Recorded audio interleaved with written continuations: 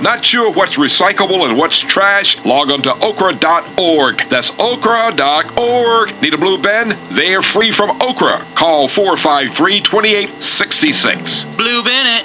A leader in electronic waste recycling projects in the Northeast is the Onondaga County Resource Recovery Agency in Syracuse, New York. The agency held a television collection on Saturday, April 19, 2008 in the Alliance Bank Stadium parking lot as part of the EPA Great Lakes 2008 Earth Day Challenge. The Onondaga County Resource Recovery Agency received an EPA grant to help offset costs of the recycling project. It was one of over a hundred projects involved in the challenge across eight states in the Great Lakes Basin. Organizers kept traffic flowing as 964 vehicles arrived with old TVs.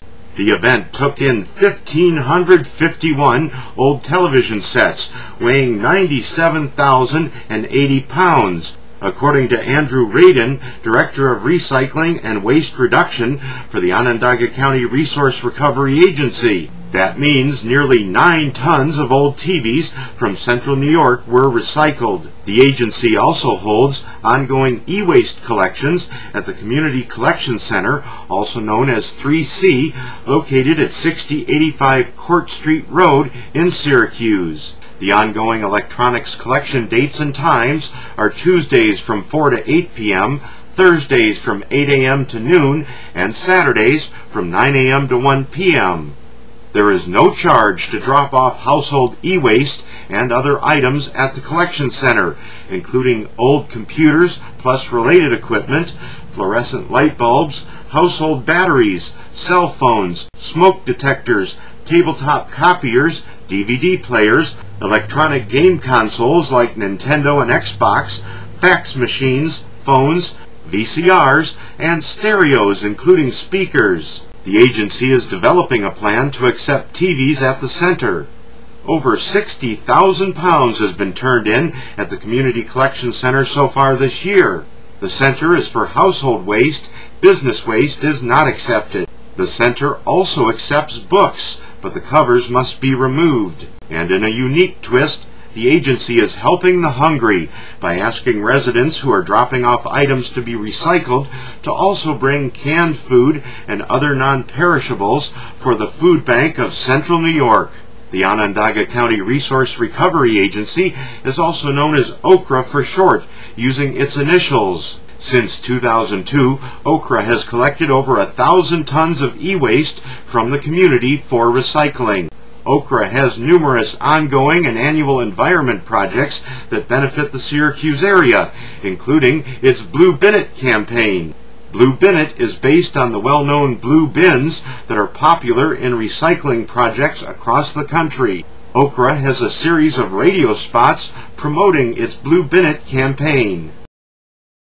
Newspaper, junk mail, phone books, pizza boxes. Blue bin it. Visit ocrra.org. Attention Syracuse, this is Dr. Rick Wright telling you it's time to take pride in your neighborhood, your city, and your world by recycling. It's time to use that blue bin. Newspapers and magazines, don't throw them in the trash. Blue bin it. Catalogs and junk mail, blue bin it. Empty cans and bottles, blue bin it. Not sure what's recyclable and what's trash? Log on to ocrra.org. That's ocrra.org. Need a blue bin? They're free from OCRRA. Call 453 2866. Blue bin it. Junk mail? Blue bin it. Phone books? Blue bin it. Pizza boxes? Blue bin it. Soup can? Blue bin it. See what's recyclable and what's trash. Visit ocrra.org. Blue bin it. So, uh, you really don't recycle? Nope. What? Why not? What's recyclable? What's trash? Still confusing. Uh, it's really not that tough. Try me. Peanut butter jars. Blue bin it. Bananas. Trash. Magazines. Blue bin it. See? That's where it gets confusing. What do I do with my magazine about bananas? See what's recyclable and what's trash. And you don't have any magazines about bananas. Maybe I do. Visit ocrra.org.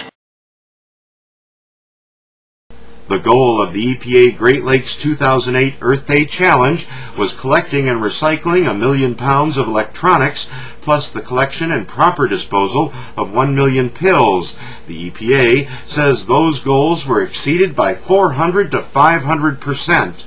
The Earth Healing Initiative assisted some challenge organizers by offering interfaith liaisons to volunteer and encourage members of local churches and temples to participate in the Earth Day activities in their area. This video on the projects connected to the EPA Great Lakes Challenge was made possible by a grant from the U.S. Environmental Protection Agency in collaboration with the EPA's Region 5 office in Chicago and the EPA Great Lakes National Program Office also in Chicago in cooperation with the nonprofit Interfaith Earth Healing Initiative in Marquette, Michigan.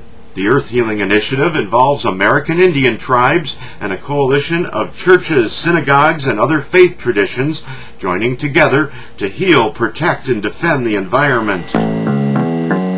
Blue bin it. I'm Greg Peterson, and you're watching Earth Healing TV.